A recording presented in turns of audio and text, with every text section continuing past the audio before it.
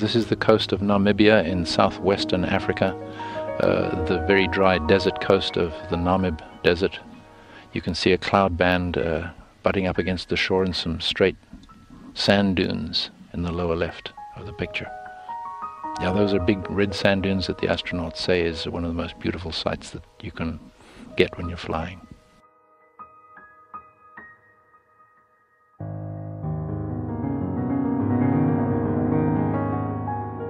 Coming into the view on the left is a is an impact crater uh, right in the middle of the picture right about now and some wind streaks. We know where this area is because it's a bit unique. We've got a, a major dune field coming into the picture on the left there, the uh, Oriental uh, Sand Sea, as it's called in French, and on the top is the Issaouane Sand Sea.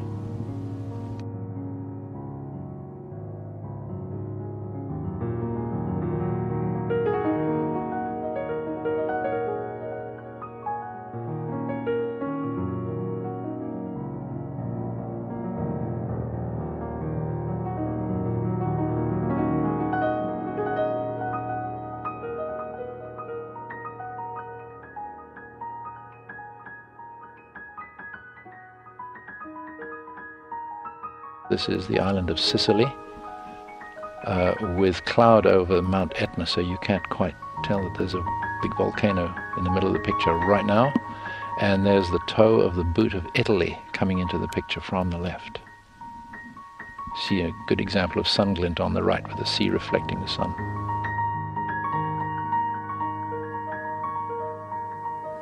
This is the smooth east coast of uh, the Kamchatka Peninsula again. As you move inland, it gets maybe even more striking as a picture because of all the volcanoes on this peninsula and the, uh, the snowy mountains.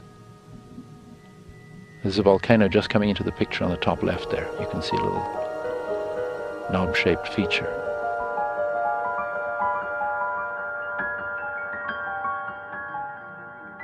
Here is a smaller finger of land in China sticking into the Pacific Ocean. In winter, you can see all the snow lower left. This is called the Tsingtao Peninsula. We recognize it. And again, the sun glint point moving along the coast, upper center.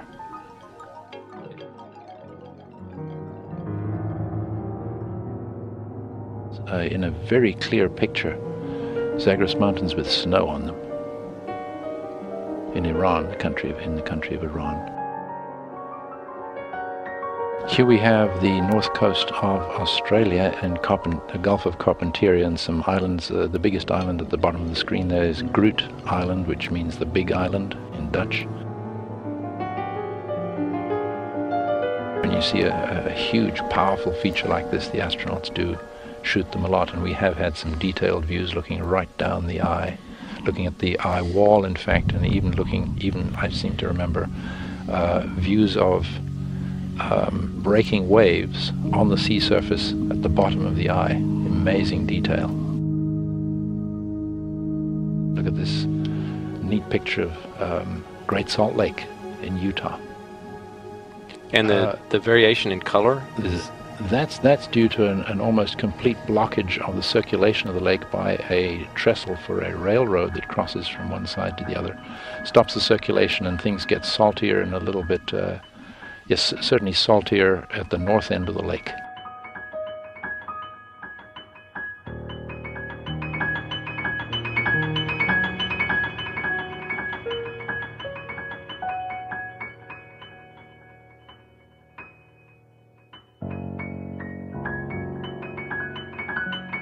Here you see two circles coming into the top of the view now. Uh, these are either volcanoes or, or um, effects from inside the Earth producing circular features. Uh, we think this is the Big Bend area of uh, uh Texas. This is a, an interesting sideways view of the uh, peninsula of Florida, with the Keys stretching out into the lowest part of the picture there, and the shallow seas around the Bahama Islands, top right. And Cuba coming into the picture, lower right. And this, I believe, is the coast of uh, northern Chile in South America. It's a very straight coast, except for that strange headland out to the top right just disappearing. And so the desert is this the first part of the inland zone. And then you see much blacker at the top of the picture uh, the Andes Mountains with some many dozens of volcanoes. And here is a thunderhead, uh, the typical look of the thunderheads, big rainstorms that develop over the Amazon basin.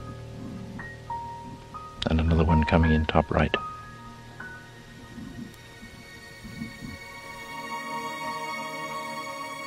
Here's an obviously a major river.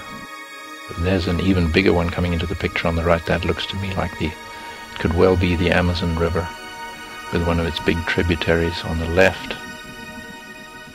And the flow would seem to be from the bottom of the picture to the top.